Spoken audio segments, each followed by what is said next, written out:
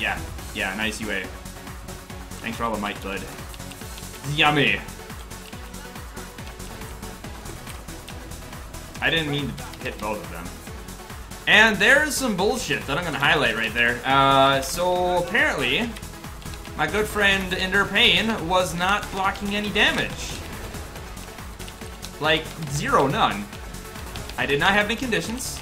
I was simply not being prevented the, uh, the damage. And I was taking full damage. And that's not cool.